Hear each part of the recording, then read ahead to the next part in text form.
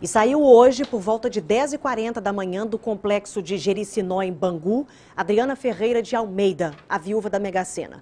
O alvará de soltura foi expedido pela Justiça na segunda-feira, mas a Adriana, que a gente está vendo nas imagens, ainda não tinha deixado a prisão por falta de tornozeleira eletrônica. Ela saiu hoje sem qualquer tipo de sistema de monitoramento.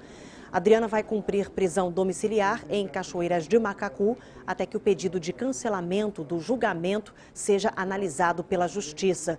A Adriana, ela foi condenada por ter mandado matar o marido dela, René Sena, que é o milionário da Mega Sena.